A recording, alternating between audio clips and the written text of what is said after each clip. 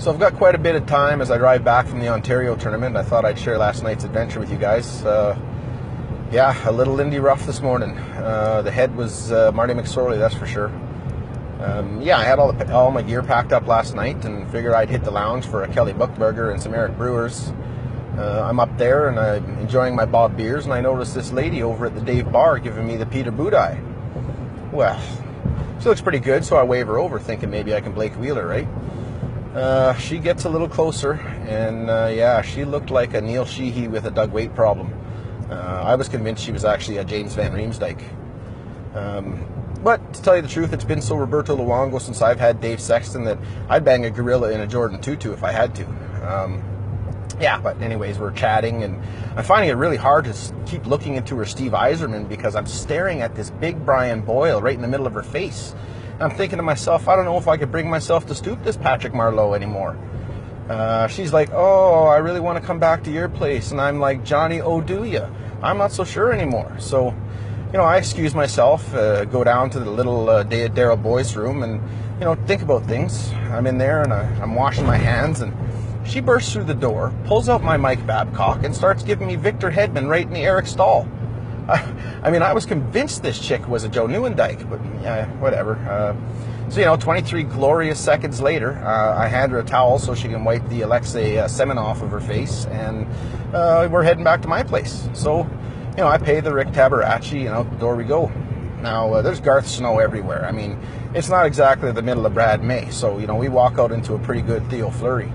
Uh, I'm thinking to myself, the only way we're getting back to the hotel by foot is if we got some uh, cross country Sergei Bobrovskis, right? So we decide to take a Thomas Cabriolet instead. So I get her back to the uh, back to the room, and she starts peeling gear, and I I Raffi Torres her gear off, and uh, you know I expose a pretty decent set of uh, Germain Titoffs, and uh, you know everything's good.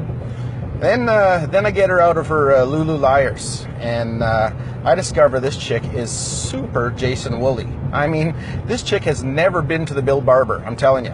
Um, you know, and I keep my head shaved, so I've got my my Donald Brashears, and I could probably shave her down to the Jeff Skinner, but you know, to tell you the truth, it was uh, a little Ty Ratty, uh, a real Mark Messier, and uh, it was a little Mike Reekie. So I really didn't want to go near the damn thing. So, anyways, you know, she sees the disappointment in my face and she uh, flips herself over onto her stomach and she says, Hey, why don't you take my Dustin Brown Don Cherry? And I'm like, well, I didn't want to go in Leon Draisaitl, right? So I grabbed some Hockett Lube and then I Pavel Bure it right into her Darren Puppa. Whew, 23 glorious seconds later, you know, I empty my Joe Sakic and we collapse on the bed.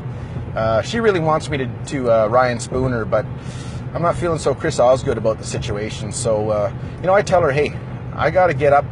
I got to get up Brenden Morrow and leave pretty Jordan Eberle. So, uh, you know, there's the Darryl Sydor. And uh, out she goes.